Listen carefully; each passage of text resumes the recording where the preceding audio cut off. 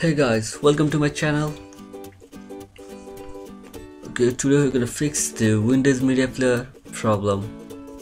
There are some videos that your Windows Media Player doesn't play. For example, I have a video here.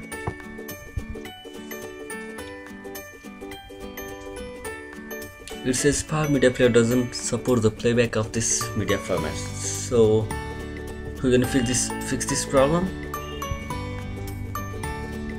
For this you just have to download a software called Prism video file converter. So the link will be given in the description. Let's go for that. Here is the page. Download it from here. After downloading install it. After installation open it. Okay this is for non-commercial home use. This is a free trial version. Okay let's select the file that we want to convert. Let's here drag it. It's in format.mkv let's convert it to any format you can choose here. I'm going to convert to .avi okay?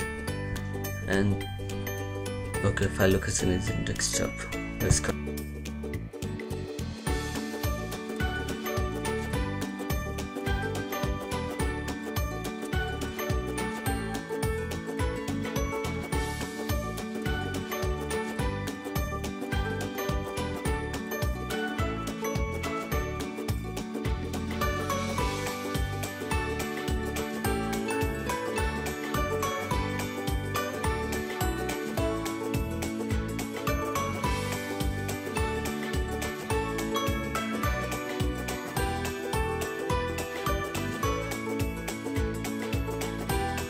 let's open.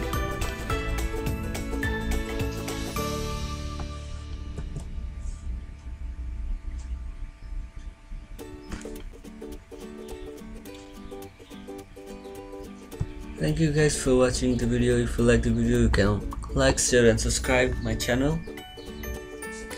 Thank you so much